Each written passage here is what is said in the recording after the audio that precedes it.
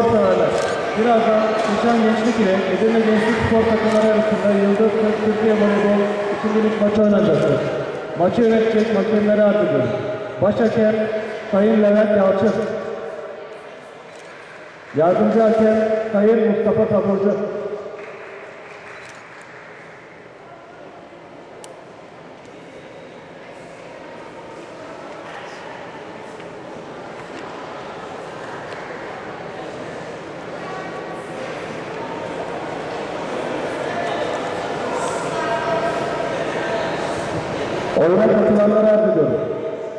Keşan Gençlik, 2 Kübra, 3 Gülce, 5 Deniz, 9 Öykü, 10 Beyza, 11 Gökçe.